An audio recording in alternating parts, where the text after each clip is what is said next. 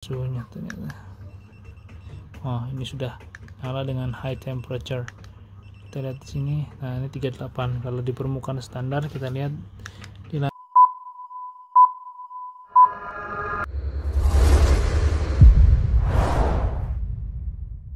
ya selamat malam semuanya. Kali ini kita akan mencoba untuk mengetes kekuatan sablon DTF sudah banyak teman-teman yang tanya di YouTube ya di komen bang coba dong bikin video tes hasil sablon DTF dengan setrika.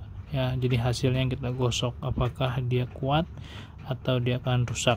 Yuk sebelum itu kita siapkan dulu apa yang mau kita kerjakan dengan menggunakan setrika kemudian sablon DTF yang siap untuk kita tes uji dan potongan bahan ya.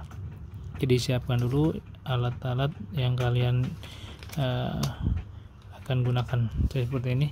Depan kalian sudah siap ya. Semuanya nyalakan dulu setrikanya. Kalau sudah oke okay, uh, tadi panas.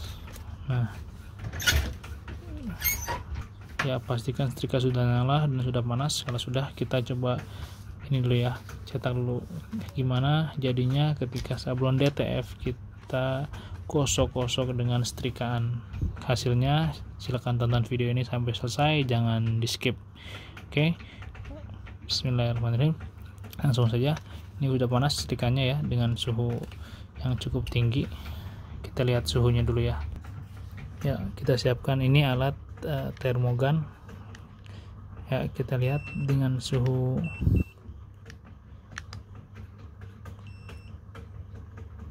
kita lihat berapa dia suhunya ternyata. Oh ini sudah nyala dengan high temperature kita lihat di sini. Nah ini 38 kalau di permukaan standar kita lihat di lantai itu 35 derajat celcius ya. Tapi ketika kita coba tek nah ini udah overheat ya high temperature. Berarti ini temperatur sangat tinggi sekali. Berarti tandanya setrikanya udah panas. Nah, kita tes dulu ini pet film. Ini plastik ya plastik saja. Kalau kita taruh di sini kita lihat nih ini tanpa gambar ya. Kita lihat hasilnya nah dia akan meleleh seperti ini teman-teman. Berarti cukup panas ya. Lihat ini setrikanya sudah benar-benar panas. Nah saya coba cek dulu. Nah dia menempel. Ya ini berarti menunjukkan setrikanya sudah sangat panas sekali. Langsung kita akan coba tes untuk mengukur kekuatan atau durability sablon DTF bismillah kita coba sablon dulu ya ini ya. Nah kita diamkan dulu. Nah sampai biar dapat hasilnya.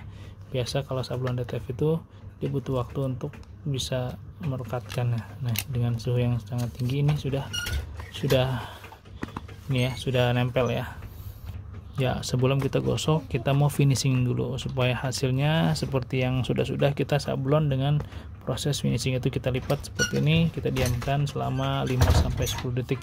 Kita hitung ya 1 2 3 4 5 6 7 8 9 10 udah 10 detik kita lihat biar supaya dia lebih merekat seperti layaknya kita menyablon. Nah kita pikirkan coba. Kalau film yang terbuat dari plastik terkena setrika ini aja meleleh seperti ini. Bagaimana dengan sablon DTF yang kayak gini?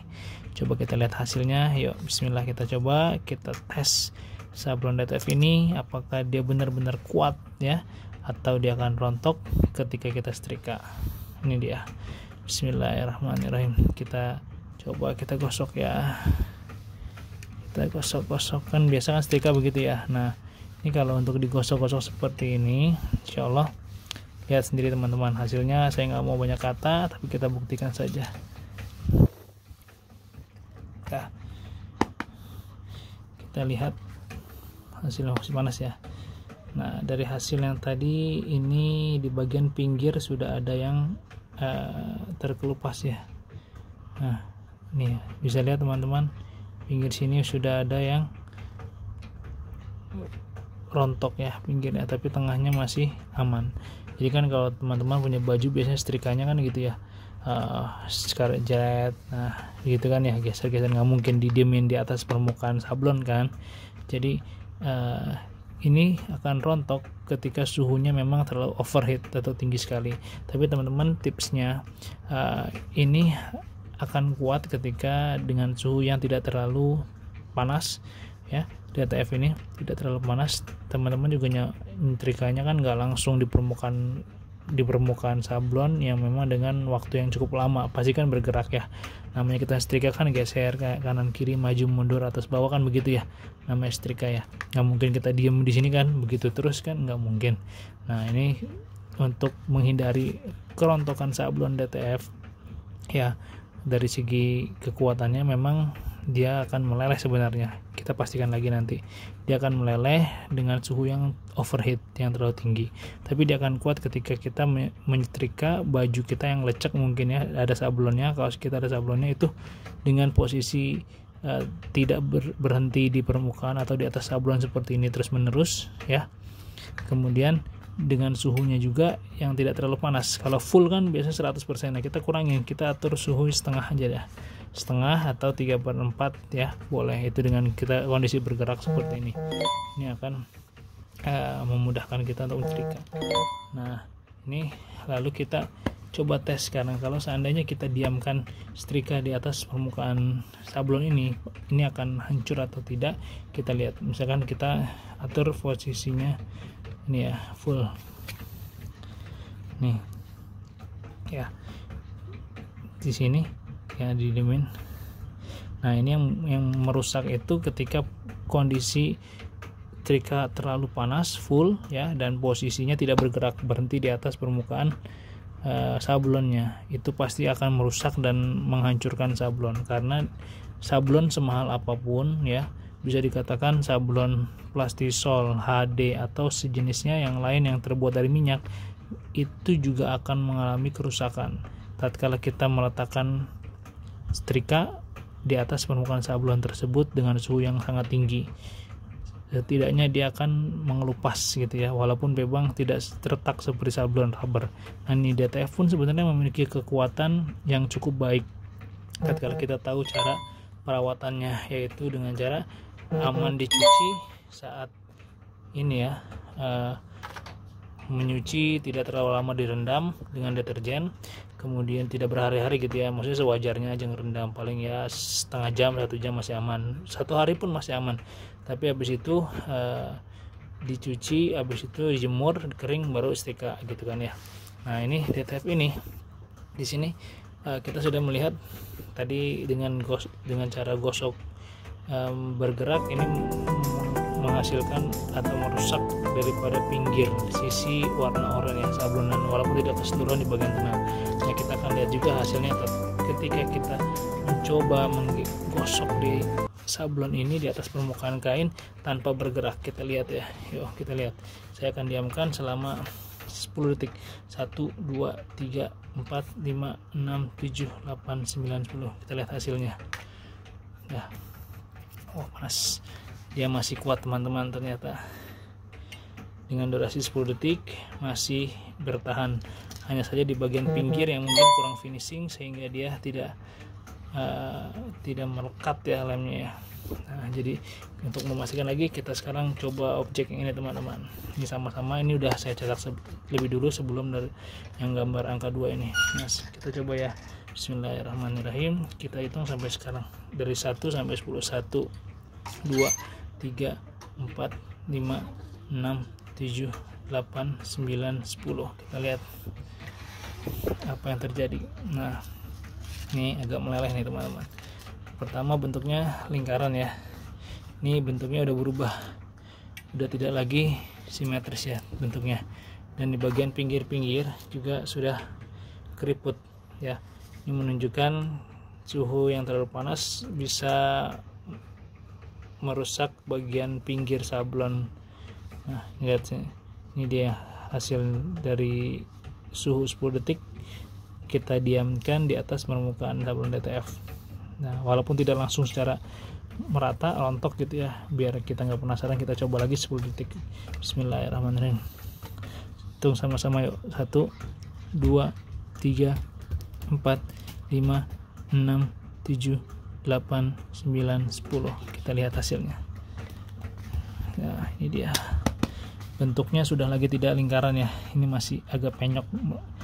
Saya lihat bentuknya udah penyok. Awalnya dia melingkar simetris tapi ini tidak sekarang. Nah untuk bagian pinggirnya kita lihat bagaimana. Nah ini udah pada keriput ya. Nah ini keriput tuh birunya tidak lagi rata seperti tengah nih. Yang tengah ini masih rata masih bagus. Tapi di bagian ini